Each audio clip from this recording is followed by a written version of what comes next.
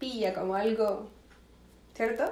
Pero no, lo vamos aprendiendo incluso, como siempre les digo, autoestima, la palabra autoestima, y después de los 30, y si es que, y si es que, ahora últimamente está, eh, estamos dándole mucho, eh, mucho foco a esto y eso me encanta. ¿Mm?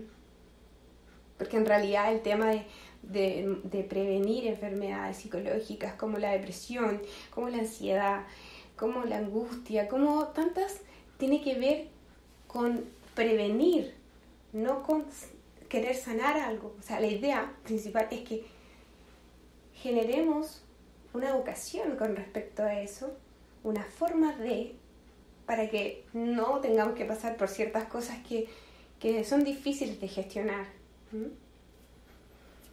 Y entonces ahora tú te vas a contar un nuevo cuento.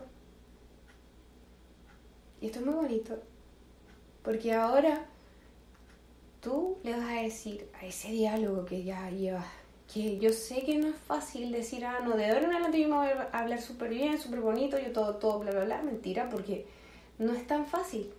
Así que también cuando estén así y, y, y, y piensan en mí, mira, lo que dijo estas chicas no tienen sentido, o no lo puedo hacer, o no, me dura bien. Cuando incluso estén en esa sensación, recuerden justamente que sí, que eso es lo que hay que cambiar.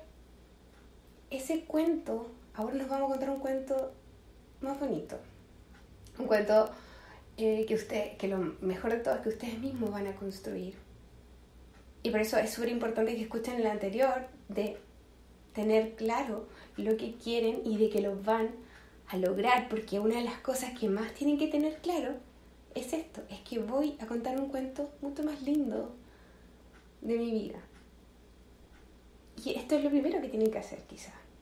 Quizás tienen muchos objetivos en su vida, pero créanme, el tener una alta autoestima, un alto amor propio, y un diálogo interior amoroso y maravilloso con ustedes mismos va a hacer que ustedes logren todos los otros objetivos que tienen en mente o en su corazón. Y esto es una conversación con ustedes constante, constante. No se abrumen si creen que no lo están haciendo tan bien, porque nadie, en serio, nadie lo hace tan bien. De repente uno cree, ah, no, mira, esta chica lo hace genial y ustedes no saben la vida que tiene. uno, uno sabe hasta lo que ve, pero lo que ve no siempre es lo que es. No se comparen tampoco, tendemos a compararnos. No, en este proceso estamos solos. O solas.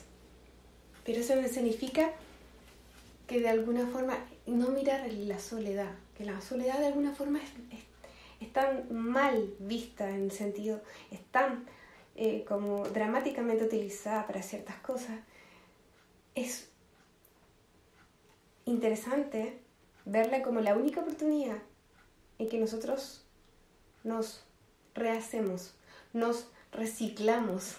Que me encanta ocupar esta frase, nosotros somos 100% reciclables.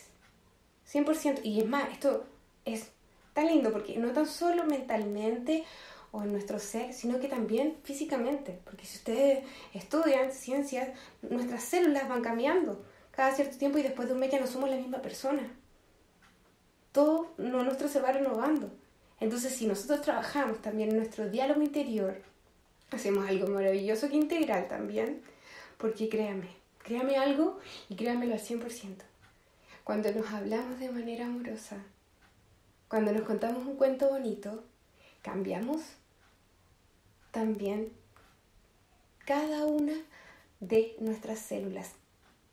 La energía de nuestras células también cambia. Y uno vibra, uno vibra, la gente lo nota. Y estoy segura que ustedes van a notar a esas personas que brillan. Entran a un lugar y ustedes, como que entrar a luz. Esas personas por lo general tienen un gran diálogo interior. se cuentan un cuento todos los días muy bonito. ¿Mm?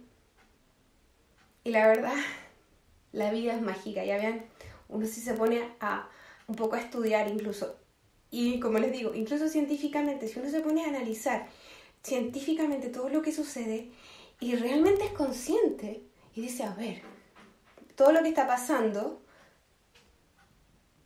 tenemos un sol maravilloso todas las mañanas que nos ilumina, las flores crecen. Después de la noche tenemos una luna maravillosa, algunos, algunos días saldrá, otros no, ¿cierto? Y unas estrellas y todo esto es tan maravilloso, tan mágico y la verdad que no creer que la vida es mágica y que no podemos nosotros contarnos la parte más linda de la vida es algo que tenemos que aprender en este proceso de cambiar o de alguna forma crear nuestro diálogo interior. Les dejo un abrazo, espero que estén súper bien y nos estamos escuchando en el siguiente podcast.